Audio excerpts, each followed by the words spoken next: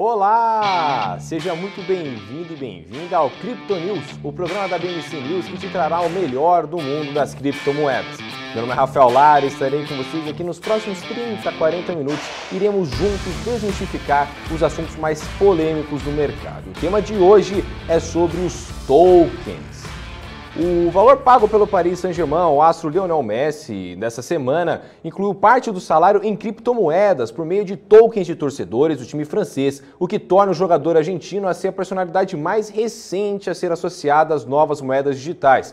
Lá vale lembrar, né, o atacante de 34 anos deixou o Barcelona e assinou um contrato de dois anos com o time francês, com opção de um terceiro ano na última terça-feira. Em reportagem da Reuters, o PSG disse na quinta-feira que os tokens foram incluídos em seu, aspas, pacote de boas-vindas, que reportagens estimam entre 29 milhões e 35 milhões de dólares. O clube não relevou a proporção de tokens no pacote, mas disse que o montante é, aspas, considerável.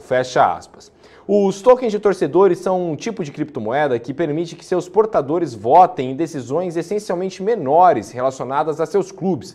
Entre os que lançaram tokens este ano estão o campeão inglês Manchester City e o italiano Milan. O Barcelona, este time de Messi, também lançou um token em 2020. Os tokens são cada vez mais vistos pelos clubes como uma nova fonte de renda. O site sócios.com, que fornece os tokens do PSG e outros times de elite, diz que eles já renderam quase 200 milhões de dólares para seus clubes parceiros em 2021 e o PSG já vê os lucros do acordo de Messi.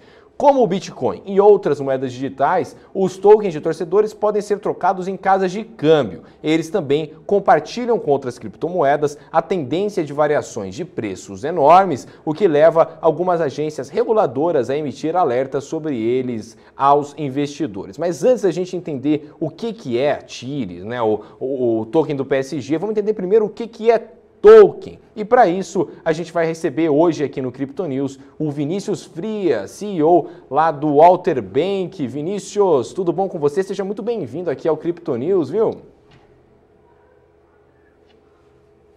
Cara, boa noite, pessoal. Boa noite, é, todo mundo está tá nos ouvindo. Consegue me ouvir bem? Tá tranquilo? Consigo te ouvir perfeitamente. Você consegue me ouvir bem aqui? Tudo certo?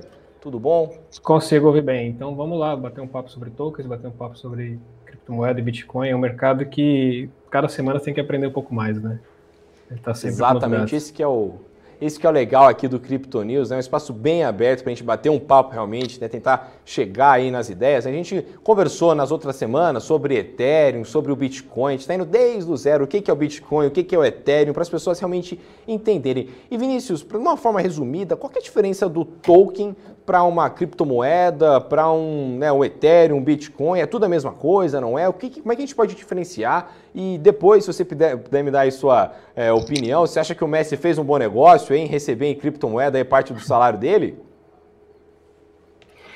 É, bom, a diferença de, de criptomoeda para token, ela é mais conceitual do que tecnológica, né? Então, no geral, você poderia, no limite, chamar todas de criptomoeda, mas foi se tiverem diferenciando o token de criptomoedas ao longo da, da indústria é, devido à sua aplicação, né? A, criptomoeda nasceu com Bitcoin, por, por algum tempo foi só ele que, que existia, e, e ainda costuma-se agora chamar de criptomoeda aquelas que estão mais associadas a, a pagamentos ou aquelas que também possuam uma blockchain própria, né? que é o caso do Bitcoin, é o caso do Ethereum, que tem um blockchain próprio. Né? E o token acabou sendo uma nomenclatura que tem sido utilizada mais quando você. Isso é uma, não é, é uma regra geral, né? Mas é, é meio que aceito dessa forma. É quando você emite numa blockchain que já existe. Então, por exemplo, existem tokens que são emitidos sobre a blockchain do Ethereum. Então, é, ali circula esses tokens, né? É, ou da blockchain do Chiles, por exemplo, que é o caso da moeda do, do PSG. Então, é mais ou menos essa diferença, né? Criptomoeda acaba, no geral, tem a blockchain própria e é usada às vezes para pagamento, às vezes para como investimento, reserva de valor ou até mesmo especulação. E o token também pode ser usado para essas coisas, mas acontece que no geral ele não tem a blockchain própria. O que ele tem é ele circula em uma blockchain mais estabelecidas. É, e aí tem várias, mas a maior delas é o Ethereum. Né? Perfeito, então, Vinícius. Ó, lembrando aqui para a galera que está assistindo a gente aqui nessa sexta-feira, primeiramente, muito obrigado, né? Eu sei que sexta-feira é um dia um pouco complicado. E se tiverem alguma pergunta aí sobre criptomoedas, sintam-se à vontade aí para a gente realmente bater esse papo. Agora, Vinícius, é, vem cá, houve aí uma uma discussão muito grande sobre essa história do Messi receber o salário dele em, em criptomoeda, né? Afinal, é, tem muita gente que critica né, criptomoedas, falam que é um mau negócio, de que não existe. Até lembro, acho que foi o, o Warren Buffett que falou, né? Entre uma banana e uma criptomoeda, a banana tem o mesmo valor de uma criptomoeda. Então, você acha que o, o Messi aí, né? Enfim, né, um multimilionário, o jogador, acho que, enfim. É, você acha que o Messi fez um mau negócio aí, abrindo parte do salário dele em criptomoeda. E, e, principalmente, você acha que o PSG fez um bom negócio? Né? Porque hoje eu estava até lendo sobre isso. O, acho que foi numa matéria, acho que se não me engano foi do UOL, falando sobre essa questão, porque o PSG, justamente pagando o salário do, do Messi em criptomoedas, né, do, do PSG mesmo, a fan token, ele incentiva que os fãs comprem mais tokens daquela criptomoeda, ou seja, até pagando o próprio salário aí do Messi. Então, é, eu queria que você comentasse um pouco para a gente, sua, sua opinião, você acha que também pode ser uma tendência né, para os próximos é, né, para o futuro, aí, os grandes contratos serem com criptomoedas? Olha, é um assunto muito novo, né? É óbvio que alguém com o impacto do Messi, isso chama muita atenção. É, na minha visão, ele fez um bom negócio, sim, mas só o tempo vai dizer. É, até onde consegui entender, o que ele fez foi, na verdade, receber uma parte da luva, né? Não é tudo ainda tão claro, né? o PSG divulgou algumas informações, mas não completo. É, até porque em futebol você tem um acordo de fair play financeiro na Europa, que é um pouco complicado. Então ele recebeu as luvas, né? É isso que, assim, que, que eu consigo entender que ele recebeu. É, como parte da remuneração total do pacote de remuneração do Messi, né? Então, é um, é um movimento diferente, vamos dizer assim, em termos de esporte. Já existem diversas é, tokens de, de, de, futebol, no geral, quem faz elas é a empresa Socios.com, né, que também é detentor ali da blockchain da Chiles, é, eles são os maiores, mas não são os únicos, né? Mas tem o PSG, tem a Juventus, e, e aqui no Brasil o Atlético Mineiro fechou uma parceria com eles também recentemente para lançar lá a moeda do Galo. Exatamente, o Atlético, né? O, o, Corinthians. E agora, falando do Atlético, eu queria inclusive chamar a atenção para o Cruzeiro, né? Porque a, a, a Alter Bank, né? O Alter Bank, é, acho que firmou uma parceria, se você até pode me explicar um pouco melhor, uma Cruzeiro, como se fosse uma Cruzeiro Coin, né, que acho que até estava até abrindo aqui, né, que é, a pessoa pode comprar tokens do Cruzeiro e ganhar cashback em bitcoins. É o Cruzeiro Token Talentos da Toca. E eu queria te perguntar um negócio, essa questão do token, né, de times, por exemplo, o time do Cruzeiro, né, para quem não sabe, para quem não acompanha futebol, o time do Cruzeiro está aí numa crise, né, bem grande, né, ele está lá no, no, na Série B do Campeonato Brasileiro, enfim, estava perto da zona de rebaixamento da Série B do, do Campeonato Brasileiro, teve uma troca de técnico que foi um pouco controversa, agora o Vanderlei Luxemburgo está lá. O, a pessoa que comprar o, o, token do Cruzeiro, ela vai ganhar dinheiro se o Cruzeiro, por exemplo, vencer um jogo, né? Ela, é, subir de divisão, ou é algo completamente diferente, como, por exemplo, funcionam aí é, né, ações, enfim, que, né, que quanto mais a gente compra, mais, mais caro fica e vice-versa? Eu acho que essa é uma excelente pergunta. O token do Cruzeiro que o Walter é, participou do, do processo de lançamento, né, a gente fez uma parceria com a startup que chama Leak, né, que a Leak, dando um, apenas um resumo, é uma empresa que tem a proposta de tokenizar ativos. Né? E aí eles começaram o primeiro projeto deles justamente com o token do Cruzeiro, e aqui a gente achou bem legal. E aí, como a gente conhece o pessoal lá, a gente entrou como parceiro comercial nessa, nessa estratégia. E aí, basicamente, o token do Cruzeiro ele, ele difere um pouco do, do, do, token do PSG, por exemplo, ou outros tokens de futebol existentes é, através da Socios.com. Como você mesmo explicou no começo, o do PSG ele está mais focado ali para dar algum tipo de voto para o torcedor que adquire aquilo em pautas minoritárias, né? Às vezes o gol da temporada, enfim, coisinhas desse, nesse, nesse gênero. E o token do, do Cruzeiro foi estruturado de uma maneira um pouco inovadora, porque ele ele está associado à base de jogadores do Cruzeiro. Então não é um jogador específico ou, ou cinco, na verdade é toda a base do Cruzeiro. Então o, o quem está comprando o token do Cruzeiro está comprando na verdade um, um, negócio que é chamado mecanismo de solidariedade, tá?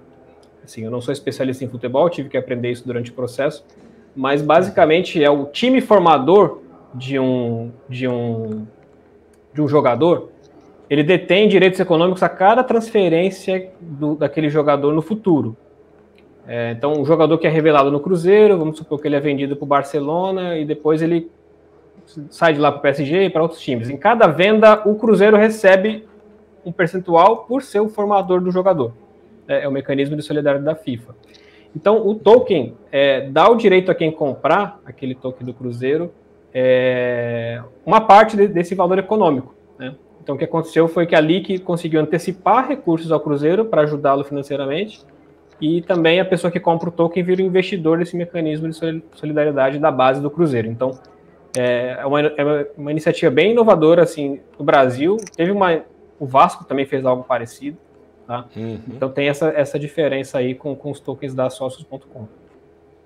Que bacana, hein? Inclusive aí, Santos Futebol Clube, eu sou Santista, o Vinícius, e o Santos tem uma tradição enorme de base, então aí, presidente Andrés Rueda aqui, que se quiser fazer um token, viu? Acho que seria legal, imagina se ter investido no, no Neymar, quando ele estava começando, ah, um, enfim, bom, ia ser super legal, eu acredito. Bom, vamos lá, o, o Vinícius, agora indo um pouco para os assuntos né, de, de, criptomoedas, a gente está é, vendo nessa semana o Bitcoin bater a casa dos 250 mil reais. Né? Nesse momento ele está operando numa alta de 6,02%, literalmente 250 mil reais renovando a máxima aí. Você acha que agora chegou a hora aí, a gente está voltando, é, o, né, o, investidor de criptomoeda deve ter uma esperança dele voltar aos 320 mil reais, igual estava lá em janeiro e fevereiro, e depois os, os, os, outros investidores né, caçoavam dele, caçoaram de porque o Bitcoin chegou ali aos 110 mil reais, 120 mil reais, e agora vai voltar aos 320 mil, ou você acha que ainda tem que ficar um pouco mais receoso, essa questão da regulação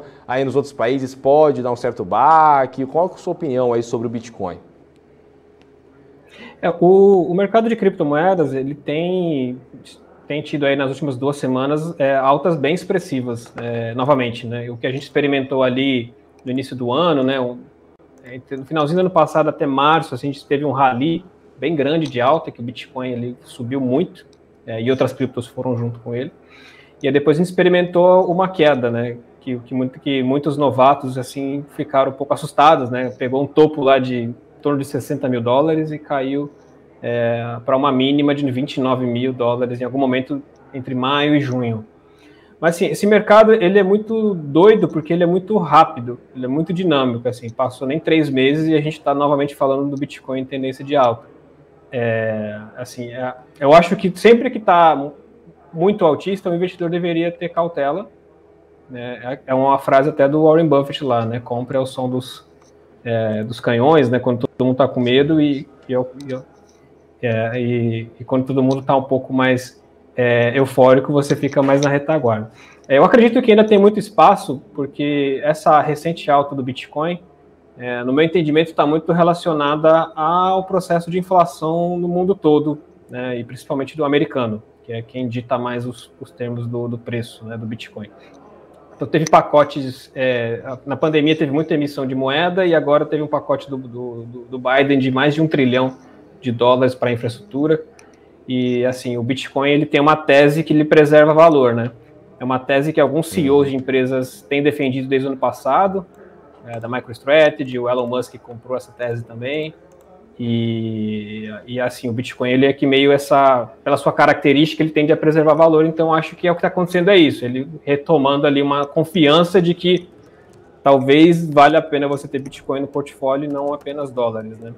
E aí os impactos para quem está no Brasil são ainda piores, porque aí a gente tem uma dupla alçada, né? Você comentou dos preços em reais, a gente tem que entender que no Brasil você vai ter uma turbulência política começando, né? Que vai, vai, até, vai durar até as eleições, e aí não estou entrando no mérito de, de, qual político, mas sempre tem turbulência, né? Então isso impacta no uhum. câmbio. E para cima ou para baixo. Então o preço do Bitcoin pode oscilar ainda mais né, nessa, nessa, nessa conjuntura, né? De você não saber para onde o dólar vai. É claro. Agora, o Vinicius, antes a gente ir para o assunto, são agora às 6h25, acho que a gente tem mais uns 10 minutos, 10, 15 minutos de conversa, ainda tem bastante tempo. Quem quiser ter pergunta, manda bala aí. Vinícius, antes da gente ir sobre os assuntos da, do, do, do Walter Bank, né, que eu ainda tenho algumas perguntas sobre isso. Eu queria te perguntar sobre o Ethereum. Qual é a sua visão aí sobre o Ethereum? Esse Ethereum que está voltando às suas é, máximas é, históricas, né? Ele está aos 3.268 dólares nesse momento, subindo 6,57%.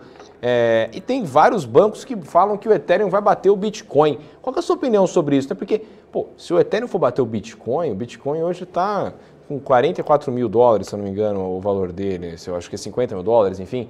É, um negócio que estava custando 3 mil, o outro estava dando 50 mil dólares. Então, poxa vida, eu vou vender minha casa, comprar Ethereum, tudo Ethereum, porque o negócio vai subir 15, 15 vezes, gente. 10, 10, 15 vezes, enfim. O que, que você acha sobre o assunto? Você acha que o Ethereum vai bater aí a casa dos 50 mil dólares mesmo, 45 mil dólares e passar o Bitcoin?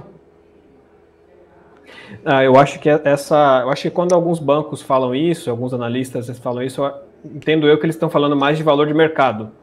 É, e hoje o Ethereum vale ali já um terço de valor de mercado do Bitcoin. Quando você pegar todas as, as moedas né, em circulação do, do Ethereum é, versus o preço dele, que é 3 mil dólares e pouco, né, 3.200 dólares, é, ele já vale em valor de mercado o, o, um terço do Bitcoin. Então, alguns analistas projetam que ele pode passar o valor de mercado do Bitcoin. Aí é uma tese um pouco é, questionável, né? Pessoas mais maximalistas ou puristas acham que não é, outras entendem que sim, que ele tem espaço para superar o, o Bitcoin.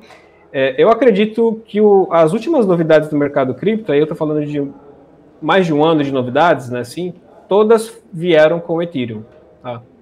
É, teve uma onda muito forte ali das finanças descentralizadas, que ainda é um assunto novo, né? Mas começou ano passado, que veio do Ethereum, né? começou através dele. Isso causou um impacto gigante nas taxas do Ethereum, ficou muito caro transacionar com o Ethereum. É, e também, logo em sequência, veio os, os NFTs, né, que são ali os ativos não fungíveis, também em cima da blockchain do Ethereum. Isso acontece muito porque o Ethereum ele é diferente do Bitcoin. Né? Ele tem outras possibilidades que a gente ainda nem conhece. A gente está conhecendo, as pessoas estão explorando e estão testando ele ao máximo para ver o que, que dá para construir e o que, que faz sentido é, para o mundo. Né?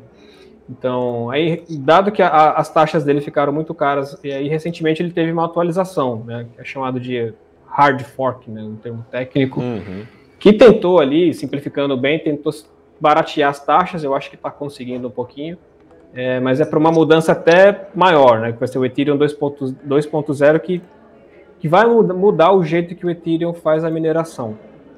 Então, resumindo bastante, hoje o Ethereum é, não só o Ethereum, o Bitcoin usa um mecanismo chamado de prova de trabalho, que consome energia, é questionado aí por alguns ambientalistas e tudo mais, e ele vai passar a ser Proof of Stake, o que é mais é, saudável para o mundo aí, em termos ambientais, né? Então, assim, o Ethereum, é assim, quem quer se expor no mercado, acho que não precisa apostar de um lado no outro, é, compra as duas coisas, né? Eu acho que você, uhum. você não tem como saber qual vai ser maior. Acho que o Ethereum tem um potencial maior de valorização, né? mas também sempre que há mais potencial há mais riscos, né? Acho que o investidor tem que pesar isso. O Bitcoin ele é um pouquinho mais consolidado já.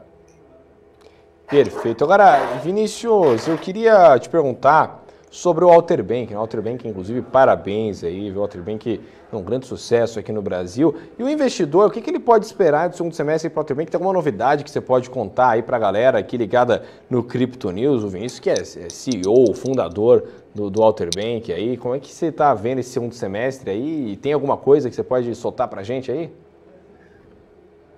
É, sim, tem algumas coisas que eu posso falar, outras não tanto, é porque recentemente, isso é público, é, o Walter foi é, adquirido pelo, pelo Melius, que é uma empresa listada na Bolsa Brasileira. Então, agora a gente vai fazer parte ali do grupo Cash 3, né?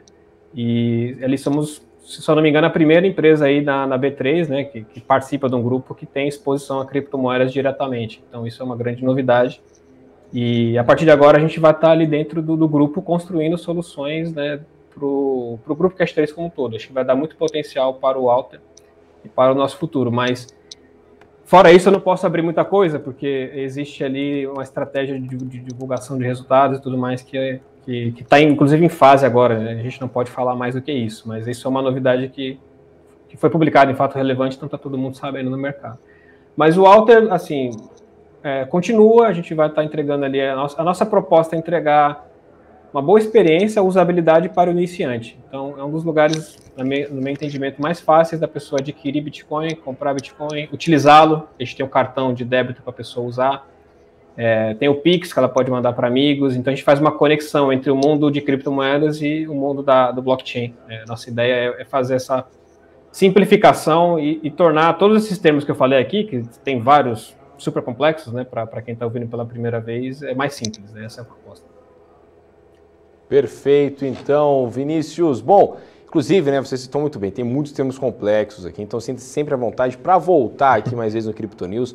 A nossa ideia aqui é justamente criar essa roda de conversa aqui para a gente conseguir entender junto todos esses termos, né? o que é blockchain, o que é mineração, é, o que, que né, é Bitcoin, o que, que é Ethereum, a gente vai desde o básico até as polêmicas da semana, como por exemplo o Messi ganhar parte do salário dele em criptomoedas. Então, galera que inclusive tiver aí alguma dúvida sobre as coisas que ouviram aqui, né, vocês podem entrar na playlist aqui do Crypto News, que está tudo disponível lá, desde o do que é Bitcoin, o que, que é mineração, o que, que é blockchain, Ethereum, inclusive o Rui das Neves falou aqui, dia 18, novo ETF de Ethereum da B3, o ET11, né, é, da Hashdex, exatamente recebeu, inclusive, o Samir Kerbaj, da Hashtags, que falou aqui em primeira mão sobre a criação desse ETF. Então, quem estava de olho aqui no Crypto News soube que esse ETF também vai estrear aí na Bolsa. Vinicius, queria muito agradecer sua participação, sempre, sempre seja muito bem-vindo aqui à BMC, não só ao Crypto News, mas como toda a grade de programação da BMC, tá certo?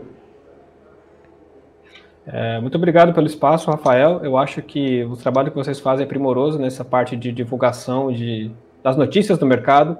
É, acho que as pessoas não precisam se assustar, é um mercado que em constante evolução. Eu estou todo dia aprendendo, né? eu não sei tudo, então assim, é um mercado que tem novidade todo dia e ele é 24 horas, ele é muito dinâmico. Então é, é muito, muito legal bater esse papo com você sobre isso.